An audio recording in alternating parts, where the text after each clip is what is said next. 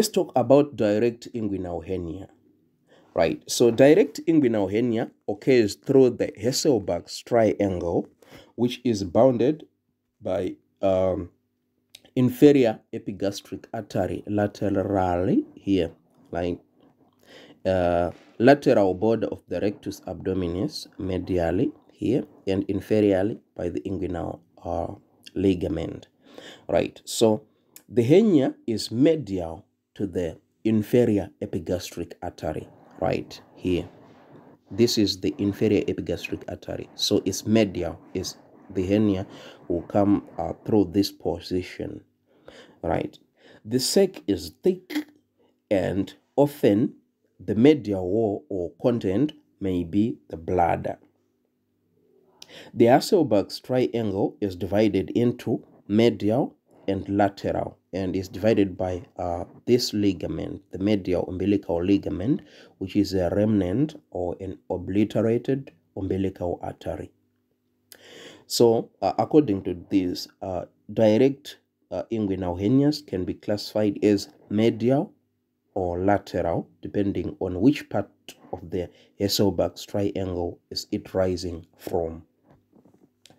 Right, uh, these are some statistics right? So direct hernia occurs for about 10 to 15 percent of hernias.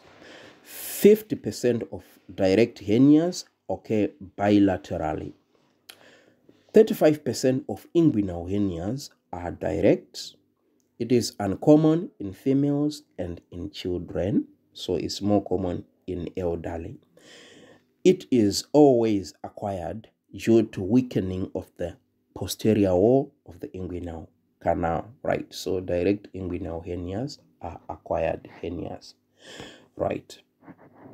So um, the coverings of the uh, direct hernia from outside, extraperitoneal tissue, uh, fascia transversalis, conjoint tendon, external spermatic fascia, and the skin.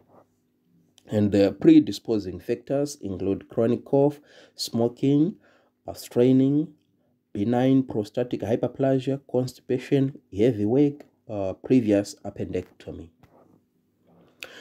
A direct uh, hernia usually appears as a diffuse bulge that cannot be controlled by pressure over the internal ring. It is above and lateral to the pubic tubercle. Malgaigne's bulgings are often seen in these patients on examination more often than in indirect hernias. They are protrusions of abdominal wall muscles during leg raising test as weak, soft, supple swellings which signifies poor abdominal muscle tone. Direct hernia uh, rarely descend to the scrotum and strangulation is not common as compared to indirect hernia. But in long-standing cases it can descend down to the scrotum and strangulation can occur. Right so uh, this is just uh, another presentation. Right so you can see medial to the inferior epigastric artery. You can see the hernia. Right so it comes through this part okay i have another video uh, showing the differences between direct and indirect inguinal hernia